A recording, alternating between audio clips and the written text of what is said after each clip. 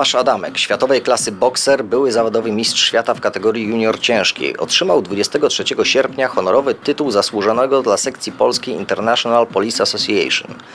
Podczas spotkania zorganizowanego na terenie stołecznego oddziału prewencji policji otrzymał policyjną koszulkę oraz spotkał się z funkcjonariuszami, którzy zadawali mu wiele pytań o trening, karierę i plany na przyszłość. Zwiedził także jednostkę i pozował do zdjęć. Tomasz Adamek nawiązał współpracę z IPA na zaproszenie prezydenta sekcji polskiej Arkadiusza Skrzypczaka. Podczas spotkania w auli wykładowej WDZ-KSP przekazał na ręce zastępcy komendanta stołecznego policji, inspektora Dariusza Pergoła, rękawice bokserskie ze swoim autografem, które przeznaczone zostaną na cel charytatywny.